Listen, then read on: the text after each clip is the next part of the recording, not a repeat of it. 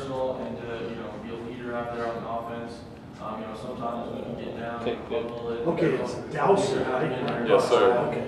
I wasn't sure about that. I gave up correcting people a long time ago. Yeah, it probably gets old, okay. So, uh, Midnight Madness, tonight. tell me, uh, your feelings about that. Um, I'm ready for ready to get it started. I mean, no one really likes the conditioning test, but you know, it's the start of the season, and once we get it out of the way, we're in pads and we're practicing and getting ready for the game. So we're ready to go. How weird is it, uh, yeah, football field at midnight?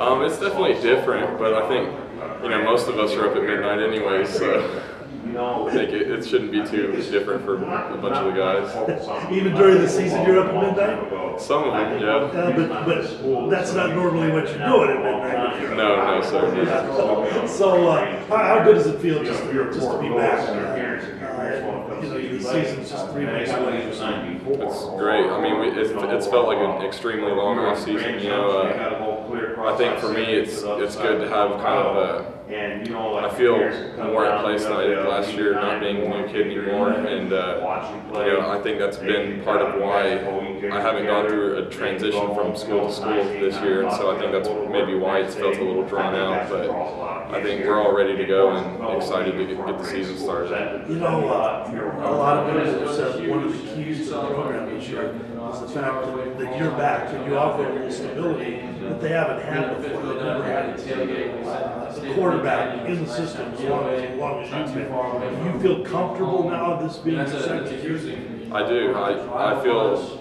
like I've had a great offseason, a good spring, and really uh, become more comfortable in the off, in the offense and as a leader here. And I do think that that definitely plays into how much success we have this year. I think that that definitely adds another dimension to what we're going to be able to do. So you got a great fan base in Pueblo. I probably figured that out last year. They're expecting some big things from you though this year.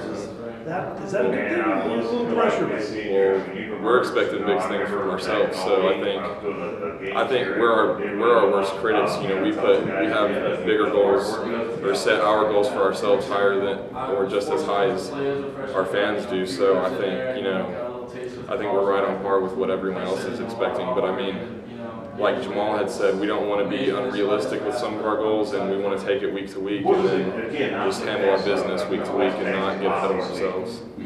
So your opener against West Texas A&M, I would like to. uh, some schools open against kind of weak teams, uh, you know, get that uh, one and oh record. This is no weak team. Well, we have we've kind of had to do that in the past. We haven't been in a position to challenge a team like West Texas, and uh, I think, like Coach Wristen has said, kind of our thinking is that we've earned it. This is where we want to be. We want to be playing big games and playing guys that and teams that have that are very well respected and have rec- good track records and.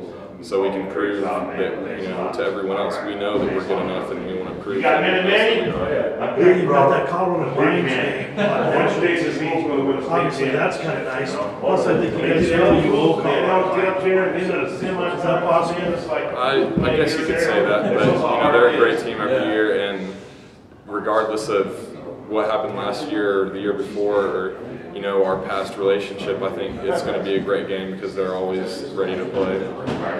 So, I, I asked, I'm not sure if I asked Jamal about this, but I asked uh, uh, Grant about this. Uh, Attitude, is there a different attitude maybe this year when you walked in today than say last year? Um, I think so. Uh, we're an older team. We've got some very good experience, some solid experience coming back, and I think there is a lot of confidence. It kind of was.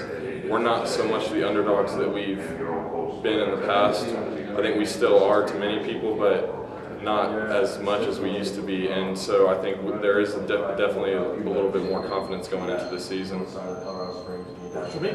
Cool. Thank you. Very good. All right. Thanks, Rod.